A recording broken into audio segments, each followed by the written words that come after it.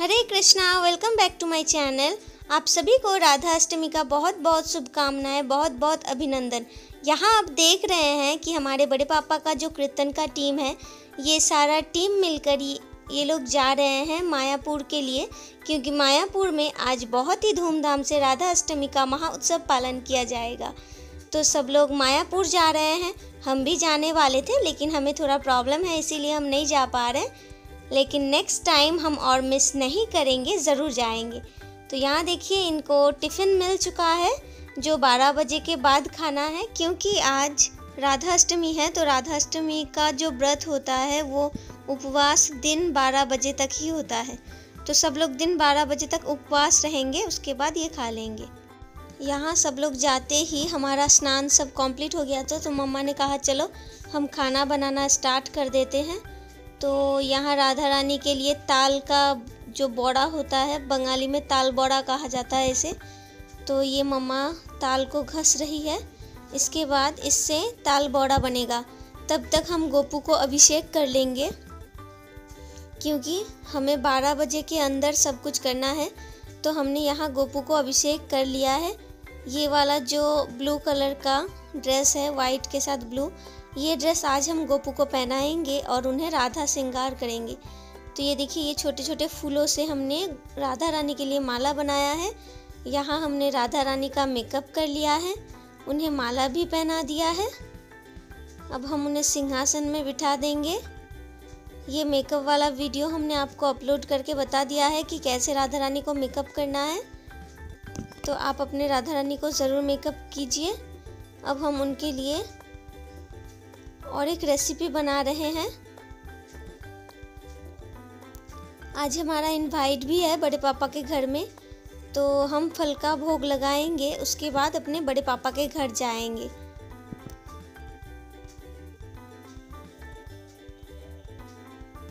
तो ये हमने गोपू के लिए बना लिया है, जो सारा भोग हम उन्हें लगाने वाले हैं। अभी सुबह को तो ये बन के रेडी है। यहाँ हमने सारा भोग लगा दिया है गोपू को? और अब मम्मा ने हमसे कहा कि आप बड़े पापा के घर जाओ, हम अन्न का भोग गोपू को लगा देंगे। इसीलिए अन्न का भोग का जो वीडियो है वीडियो है, वो हम नहीं बना पाए। हम अपने बड़े पापा के घर चले गए। उनके राधा रानी के लिए, लड्डू गोपाल जी के लिए हमने भोग बनाया था। वो भोग लेकर हम जाएँगे अपने बड़े पापा के घर।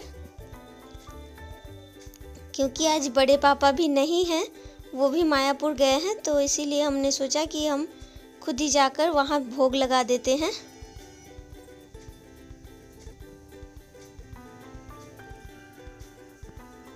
तो चलिए, ये जो हमने बनाया था, ये और ये फूल दोनों ही हम लेकर जा रहे हैं अपने बड़े पापा के घर।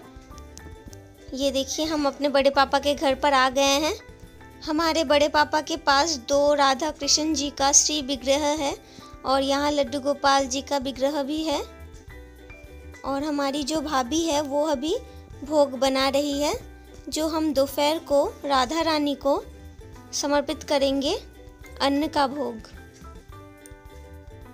तो ये हमारे बड़े पापा का मंदिर हमें कमेंट में कहा गया था कि दीदी, अगर हो सके तो आप अपने बड़े पापा का मंदिर भी हमें दिखाना।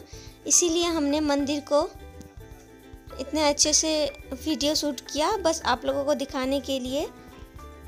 तो ये देखिए तो चलिए हम लड्डू गोपाल जी को भोग लगा देते हैं अब, क्योंकि 12 बजे के अंदर ही हमें भोग लगाना है।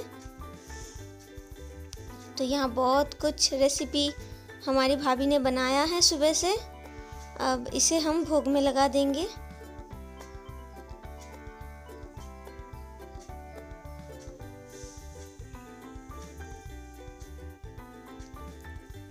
तो ये भाभी सब ठीक ठाक कर रही है। भोग का जो भी है।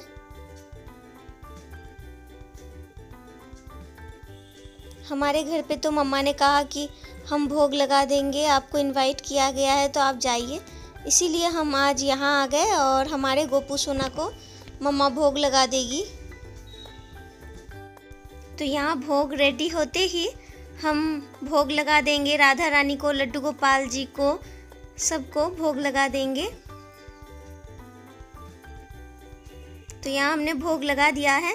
भोग लगाने के बाद हम मंत्र जाप कर लेंगे, दिया अगरबत्ती भी जला लेंगे और उसके बाद 20 मिनट के लिए हम भगवान जी का जो द्वार है वो बंद कर देंगे। यहाँ दिया अगरबत्ती भी जला लिया है तो चलिए हम द्वार बंद कर देते हैं। यहाँ भोग लगाना कंप्लीट हो गया है। तो अब मंदिर को खोल दिया हमारे भाभी ने। तो चलिए, अब हम भी प्रणाम करके प्रसाद सेवा कर लेंगे। यहाँ भोग लगाना कंप्लीट हो गया है। अब हम भी प्रसाद सेवा कर लेंगे। प्रसाद सेवा करने के बाद ही हम अपने घर जाएँगे। क्योंकि घर जाने के बाद फिर राधा रानी को केक भी खिलाना है तो यहाँ हमने प्रसाद भी सेवा कर लिया। अब हम जा रहे हैं घर तो देखिए यहाँ राधा रानी के लिए हमने केक लाया है। हमारे गोपू रूपी राधा रानी के लिए यहाँ हमने उनके लिए बिस्कुट लाया है। और चलिए हम उन्हें केक भी खिला देते हैं। जन्माष्टमी के दिन हमने अपने गोपू के लिए क्रीम केक लाया था। तो आज हमने सोचा, चलो राधा रानी को कुछ अलग खिलाते हैं ताकि राधा रानी को और भी अच्छा लगे। तो इसीलिए हमने जानू से आज कहा था कि ये केक लाने के लिए। तो चलिए हम इसी केक से राधा रानी का बर्थडे मनाते हैं। तो राधा रानी ने अन्न का भोग सेवा कर लिया है। अब राधा रानी का जो अनुष्ठान होता है, वो दिन में ही होता है। इसीलिए हमने राधा रानी को दिन में ही केक खिला दिया। जो हमने उनके लिए लाया था, ये केक सेवा भी हमने उन्हें करा दिया। हैप्पी बर्थडे गोपू रूपी, राधा रानी। हमारी प्यारी सोना। तो यहाँ हमने राधा रानी को केक खिला दिया, उनका हैप्पी बर्थडे भी मना लिया। तो चलिए हम थोड़ा कीर्तन कर लेते हैं, क्योंकि राधा अष्टमी का अनुष्ठान दिन में होता है। तो हमने सबको दिन में ही बुलाया है। ऐसे ही बहुत ही सिंपल प्रोसेस में हम कीर्तन के साथ अपना राधा अष्टमी का महा उत्सव समाप्त करेंगे। Happy Radha Ashtami all of you